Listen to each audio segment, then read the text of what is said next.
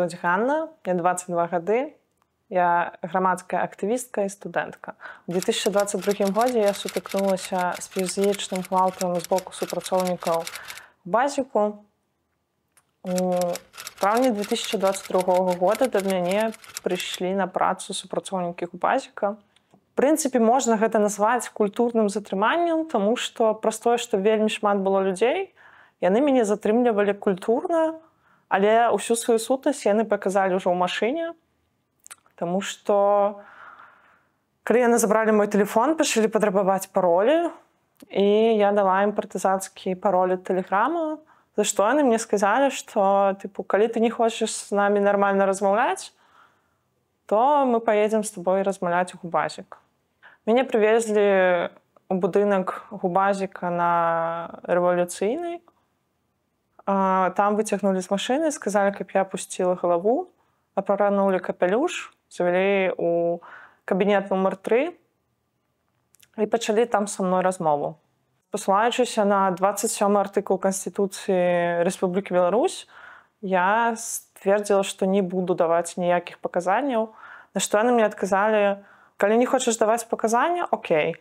Прыйшоў мужчына, сказаў, каб я лягла на падлогу. Я перапытала яго, таму што не зразумела, што ён ад мяне хоча. Ён мне крыкнуў матам, што я павінна зрабіць. Я лягла на падлогу, завяла рукі за спіну. Гэты мужчына да мяне падышоў, сказаў, што ён адчувае ад мяне пагрозу, апрануў мне на рукі кайданкі і прасунуў мае ногі праз кайданкі, Паставіўшы ў такую позу ластаўкі, гэта калі ты ляжыш такім абранкам. Яны мне сказалі што я так буду ляжаць пакуль у мяне не пасіняюць руки і перыядычна да мяне прыходзілі нейкія мужчыны. Я не бачыла іх твараў.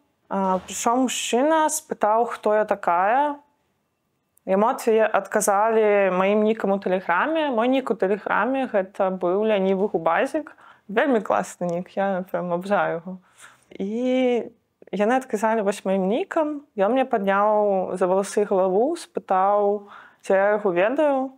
Я адказала што не я не маю паняцця хто гэта ён там штосьці пасмяўся пажартаваў а позні а потым узяў металёвы дручок і пачаў са мной размову за кожны адказ які яму не падабаўся ён біў мяне па ягадзіцах палкай кожны раз калі яму падавалася што я адказваю на беларускай мове ён біў мяне палкай яны спыталі чаму я з імі не размаўляю по-беларуску я ім адказала што я цудоўна разумею што вы будзеце мяне за гэта біць яны пахадзіліся з гэтым сказалі што так як бы ты маеш рацыю мы будзем цябе біць і потым праз некалькі секунд літаральна на гэтаму мужчыне падалося што я адказала яму па-беларуску ён мяне ударыў мацней з усіх тых разоў што ён мне біў сказаў каб я з ім нармальна размаўляла быў таксама мужчына які прыйшоў удару мяне нагой па рэбрах быў мужчына які чымсьці кінуў мяне не быццам бы ці то гумовым ці то металёвым Ну і падчас усяго гэтага допыту былі рознага віда абразы, там наконт арыентацыі, наконт майго выгляда, наконт таго, што тыпу анархістка ці не. На той момант я не цікавілася анархізмам наогул, але пасля апошніх сотняў гэта сапраўды мне вельмі зацікавіла, што, да анархістаў я сутыкалася на акрэсціны з анархістамі яны ставяцца найболей жорстка праз іх пазіцыю. Са мной была дзяўчына, у якой былі цалкам сінія ногі праз тое, што анархістка і на яе завялі, на жаль, крымінальную справу. Допыт у кабінеце працягнуўся недоўга, бо збольшага я ім адказвала на пытанне так не, альбо не ведаю альбо не чапайце гэтага чалавека ён нічога не датычны У нейкі момант яны вырашылі мяне заставіць адну, каб я падумала над сваім захаваннем. І адзін з іх сказаў мне, што ў мяне зараз вельмі моцна сінія руки. І збольшага у меня была сіняя левая рука. Зараз у мяне засталося два невялікіх шнара на руцэ ад кайданкоў. Пасля супрацоўнікі вярнуліся, яны неяк пагоршылі мой стан, каб яшчэ больш цяжка было трымаць э, руки і дзесьці праз хвілін 10 яны скончылі допыт э, і звесілі мяне на крэсце.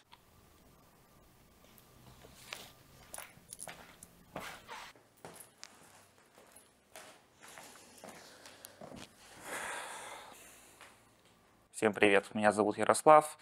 А, я был один из участников э, митинга с 9 на 10 августа задержанных э, в Минске после фальсификации выборов. А, после задержания я был доставлен на ИВС на Крестина, где столкнулся с жестокостью, бесчеловечным отношением к людям. Здесь очень много людей были э, сильно избиты, с рассечениями, с, поломанными, с поломанными ребрами, а, просто до черноты отбитыми нижними конечностями. Соответственно, никакая медицинская помощь им не оказывалась. Э, я не видел там ни сотрудников э, скорой помощи, ни какого-то врача, который хотя бы должен тебя как минимум осмотреть перед тем, как тебя помещают в ВВС. То есть ничего из этого не было. В камеры напихивали людей просто как э, селедку в банку. То есть камера на пятерых, в ней уже 25 человек коридора кричат, спрашивают, сколько вас там. А, мы отвечаем 25, они отлично, еще 10 влезет. То есть было настолько душно, невозможно дышать, что люди просто теряли сознание. А, их тогда, ну, просто, я не знаю, наверное, выносили на коридор, но мы, я больше ни одного не видел, чтобы он потом вернулся в камеру.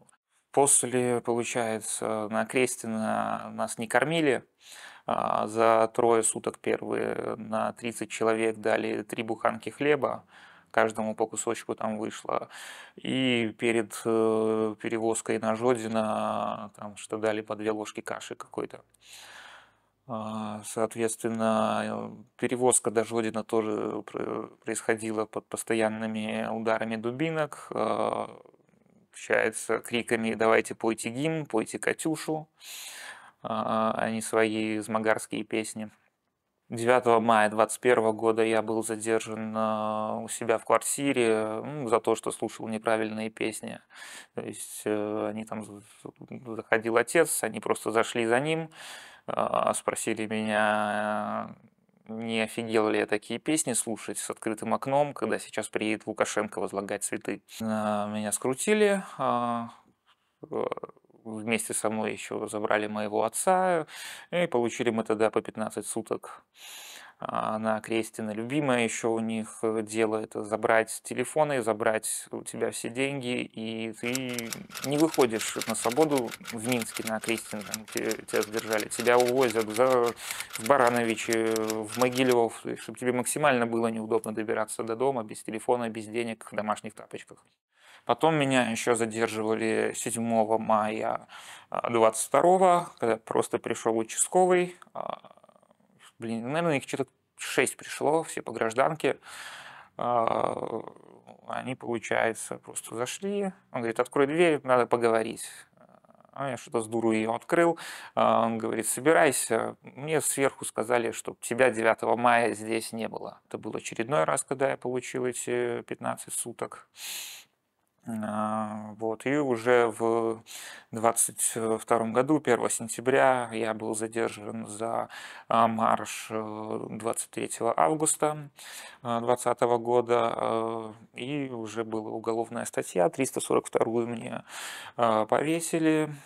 Получается, привезли в Губопик после там, формальных Получается, ну, вот после меня оформили документы, э, я сидел на стуле в наручниках, э, они просто стали меня избивать, не задавая даже никаких вопросов, не требуя никаких показаний. Было видно, что им это приносит удовольствие, а, когда человек боится, э, когда он просто даже не знает, может, он переживешь ты эту ночь или нет, или инвалидом останешься, не дай бог. А, после ну, довольно продолжительного избивания и записи покаянных видео, они отвозят тебя в РУВД, и просто лежишь сутки на, получается, в этом темном помещении в подвале на этой бетонной выемке. После этого отвозят в Окрестино, где все, кто был задержан а, по политическим статьям, а, содержались исключительно в карцерах, без каких-либо теплых вещей. Если так, это был уже сентябрь месяц, ночи холодные, там, кого-то задерживали еще в августе, когда было тепло. Ну, взрослые люди с инвалидностью спали на бетонном полу в шортах и в майках. Здесь никакого медицинской помощи никому не оказывали. Перемещаются политические заключенные исключительно в наручниках сзади, а, и надо как можно выше задрать руки. А, у стенки постоянно стоять, положив руки на нее, ну, что молодым людям это не всегда легко, а вот пожилым им вообще очень тяжело это было, и они просто а, милиция стояла и издевалась над этими людьми, потому что ну, им прикольно было. Вот как бы хотелось бы обратить какое-то внимание на это, что репрессии у нас до сих пор не прекращаются. Каждый день я захожу в новости и вижу, что по 10, по 15 человек задерживаются по, в рамках уголовных статей. Это так.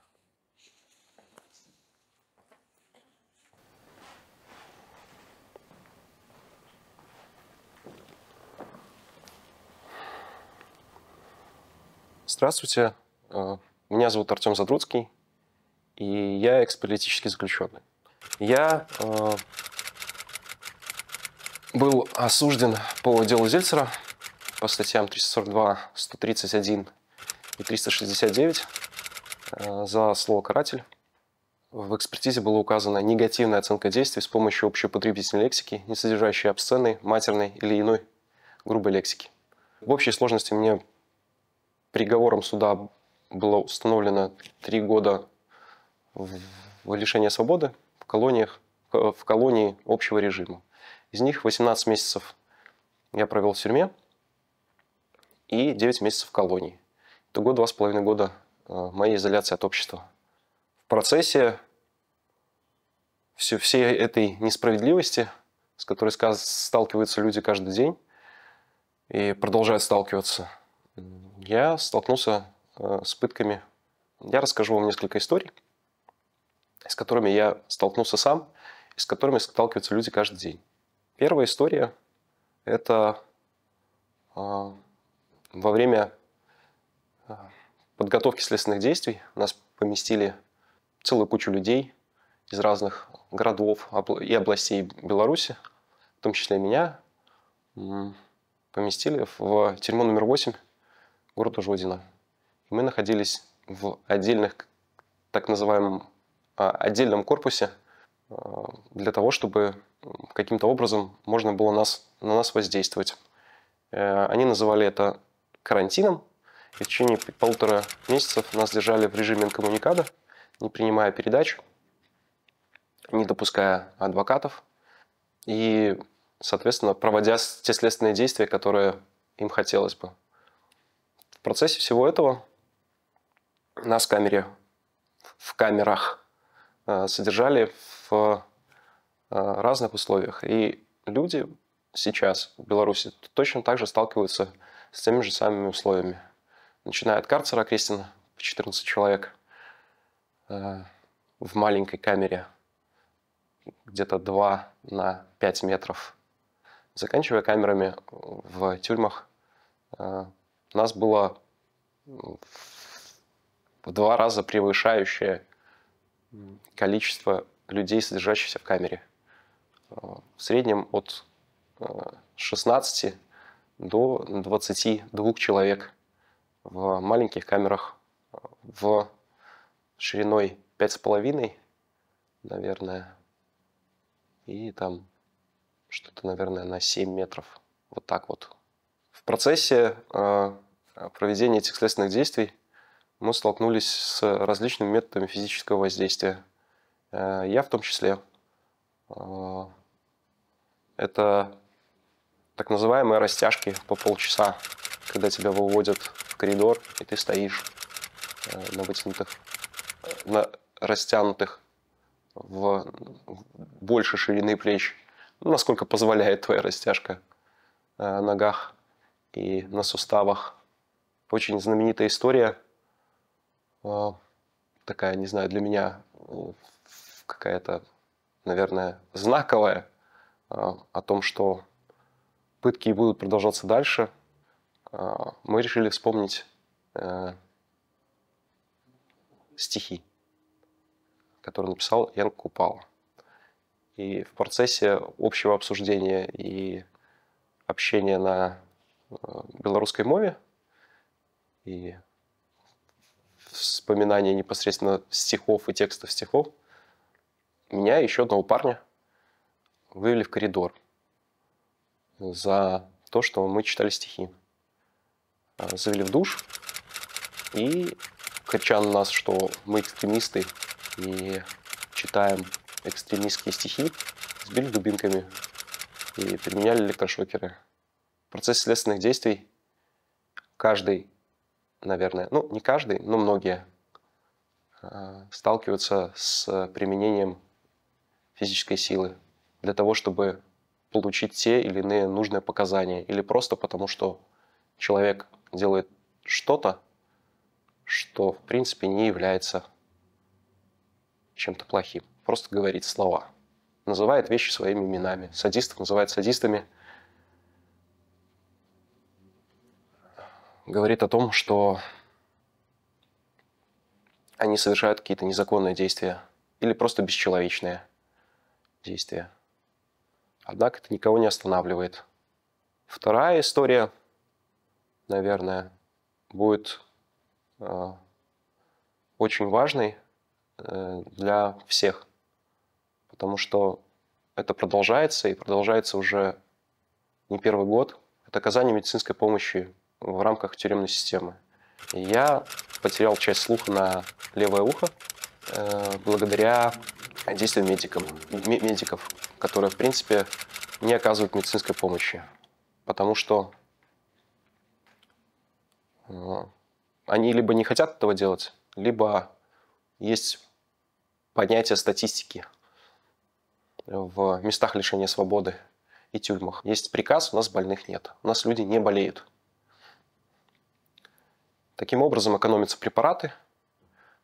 Таким образом э, можно воздействовать на людей и пытать их, просто не оказывая медицинскую помощь.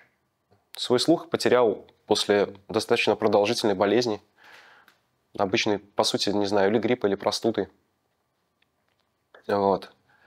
А,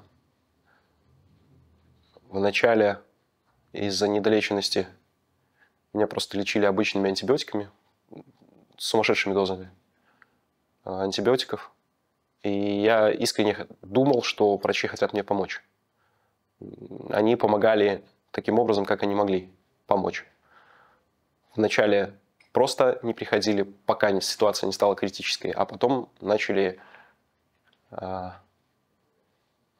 начали оказывать медицинскую помощь, но в рамках своего какого-то понимания, э, как должно происходить лечение.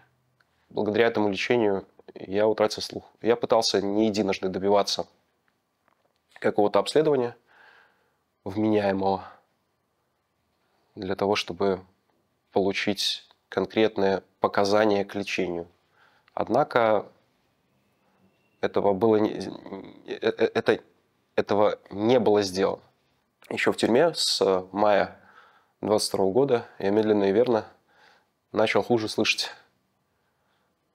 на левое ухо. Когда я приехал в лагерь, я уже не слышал.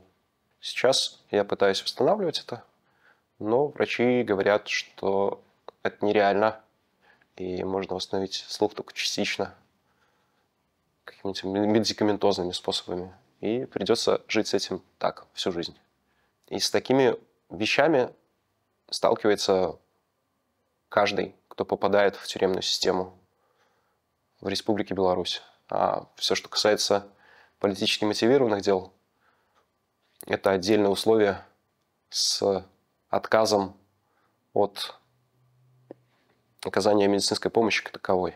Тебя легче посадить в ПКТ, чем в, в лагере, чем оказывать тебе медицинскую помощь.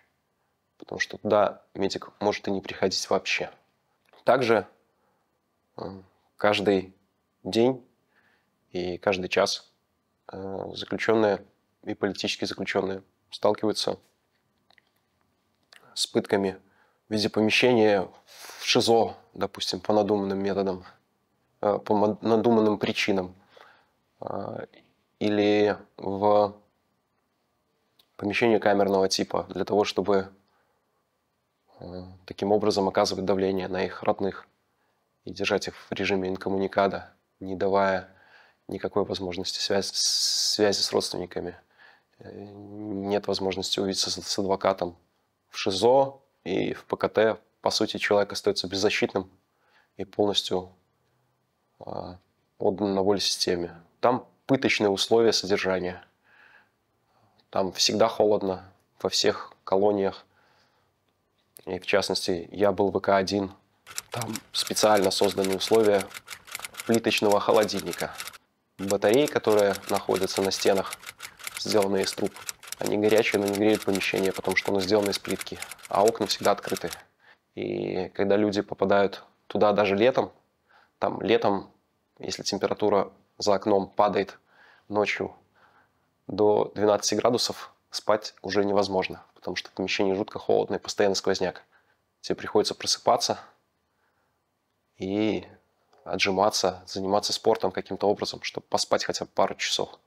Для того, чтобы не, не было каких-то претензий, э, сотрудники в той же самой ИК-1 э, продолжают избиение, но в рамках ШИЗО, там, где нет камер и никто не видит, и нет возможности это зафиксировать. И таким образом а, они воздействуют физически на людей, продолжают их пытать. А, при этом не считая себя садистами или какими-то еще бесчеловечными существами, или, или потому что людьми это уже ну, тяжело назвать. Я не знаю, что еще сказать. Я надеюсь, что люди будут придерживаться банального гандийского принципа если ты не хочешь делать зла, не делай зла. Я надеюсь, что простой отказ от выполнения так называемого служебного долга в будущем поможет осознать людям, что, может быть, отказавшись от выполнения этих обязанностей, они хоть как-то сохранят кусочек чего-то человеческого внутри себя.